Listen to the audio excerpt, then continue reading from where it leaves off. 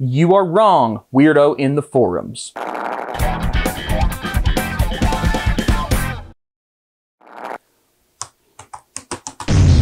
Oh no, my computer turned off. What could have happened? It's probably because it overheated. And this is where the question of the day comes from. At what temperature is your CPU getting too hot? A lot of people in forums have lots of opinions, but opinions are like butts. Everyone has one, allegedly. So we're going to talk today about what CPU temperatures are correct, aren't correct, and why almost everything that you read online is dead wrong. The processor in your computer breaks down at a different temperature depending on what kind of computer and processor it is. This is a brand new Asus laptop. It has a Ryzen 9 7940HS. But what's the breakdown temperature on this thing? Somewhere down here, there'll be someone who has an opinion on the temperature that this CPU should get to. A lot of times you'll end up on Tom's Hardware, where everybody seems to have no clue what they're talking about, but they have a solid authoritative opinion anyway. The truth is, this processor, I don't know the maximum temperature, but I can take a pretty good guess. If I do something to heat it up, and I look at the temperature that it gets to whenever it's running a very heavy CPU intensive task, then that's probably about 10 degrees Celsius below the breakdown temperature.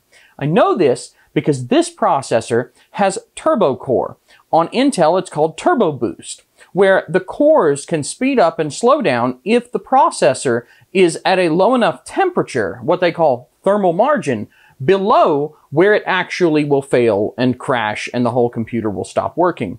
Over a decade of processors has turbo boost or turbo core, which means the whole max temperature thing and what temperature should it be at when it's idle and all that is not necessarily as accurate as it once was. See, back in the 2000s, a processor typically was single core and it had a maximum temperature and a typical temperature if you had a decent cooling system. It couldn't do turbo core, didn't have the power efficiency stuff that you see on modern chips. So it was pretty typical for, say, the average desktop processor to idle around 40 degrees Celsius. Unfortunately, that's not how things work now. Some chips can actually idle extremely low, room temperature. I have seen some very low power chips actually idle so low that I was like, wait a minute, how is this processor 21 degrees Celsius? Is your air conditioner on? No, it just happened to be winter and the heat was turned down. But if the processor doesn't produce much heat, it's very power efficient, low power, but also low speed then it can idle at a very low temperature. A processor like this is designed to operate a little bit higher because while it is still designed to maintain lower power so that it, the laptop battery doesn't discharge too quickly, um, I'm going to pull up Open Hardware Monitor, which these days I replace with a Libre hardware monitor, but this is what's on here. And it's not really doing anything. I just have a browser open and not really anything else. Um, CPU package, 3.2 watts and it's idling at 31 degrees Celsius, which is just a little over room temperature. It's probably floating around 26 in here now. So this chip, it runs a little bit warm, but not very much. Whereas other chips, you know, desktop chips, that if you have a high performance chip like a Ryzen 9 desktop chip or an Intel i9, whatever, you're going to see those things idle at higher temperatures unless you have a massive cooling system like a water cooling system. So it's not really correct to say, oh, you know, in my experience, processors just shouldn't get to this, that, or the other temperature or shouldn't idle this high or low because for every kind of chip, it's different. Where it becomes a problem is when you go looking to see, is the temperature I'm seeing too hot or is, the behavior too hot? Um, you start worrying that the, the health of your hardware is bad and you start looking for resources to help. Well, I'm, I'm looking here and it's a 31 Celsius, but it's brand new.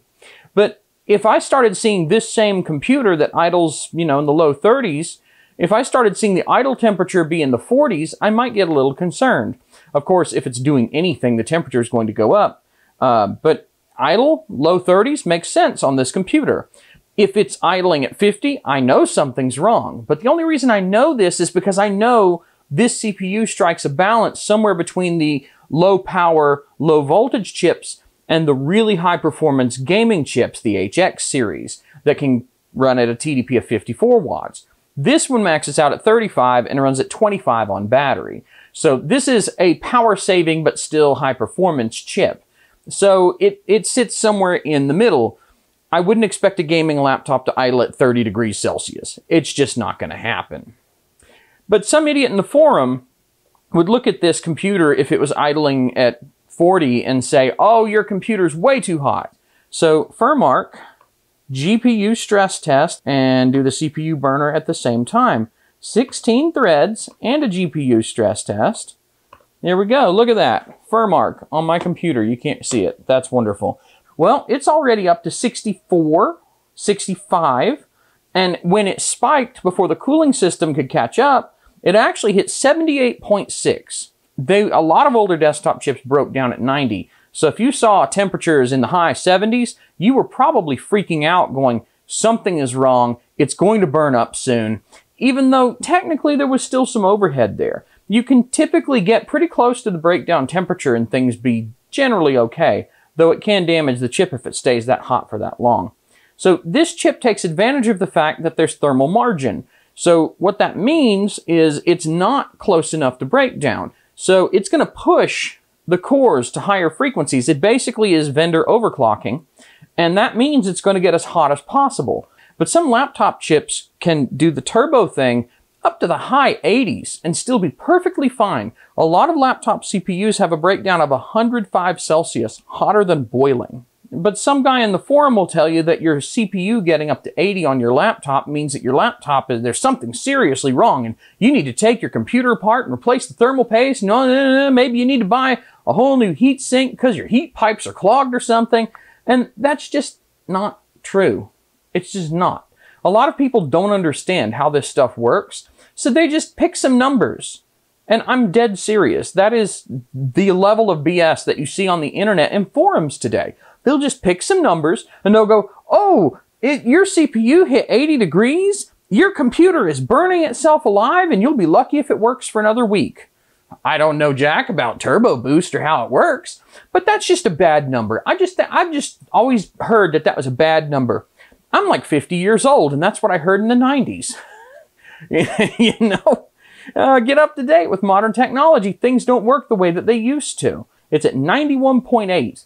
It hit 91.8 in a laptop chip. This is a brand new computer. So a lot of idiots are going to say, oh, oh my God, it's in the 90s. It's overheating, man. You need to get your computer fixed. It's literally brand new. It's designed to do this. This is correct. You are wrong, weirdo in the forums. So that was the whole point of this video is to say that everyone in forums that says anything about CPU temperature is a moron and doesn't understand the technology. If you really want to know the official number for your CPU, the manufacturers usually have the specifications on their website. It's, it's either going to be called T-junction or T-max, something like that. But the temperature specs are on the manufacturer's websites if you really want to know it. But here's the thing. If your processor's overheating and it's a problem, your computer will shut off or crash all the time whenever it's under heavy load for a sustained period. That's it. If there's a problem, it'll crash. You'll know there's a problem because there'll actually be a problem. Don't worry about the temperature of your stupid CPU just because some idiot on Tom's Hardware thinks that 80 is a scary number. That's all. Thanks for watching. Have a great one. Keep your CPUs nice and spicy. Take care. Oh, it crashed. I'm just kidding.